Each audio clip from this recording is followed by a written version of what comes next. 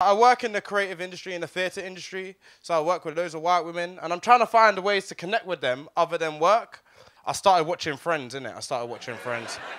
So let me break down friends for you, yeah. Joey and Phoebe definitely got dyslexia and dyspraxia. One of the two, yeah. Like, you know how I know? Because I've got dyslexia and dyspraxia. It takes one to know one, you know what I mean? Like, Ross and Rachel's relationship's more toxic than Chernobyl. And I think Monica and Chandler, they're secret Tories. They're secret Tories, yeah. Like, but they definitely supported Black Lives Matter, yeah. But they definitely voted for Boris at the same time. One of them vibes, yeah. And all the people that didn't laugh in this room, you're secret Tories too. I see you.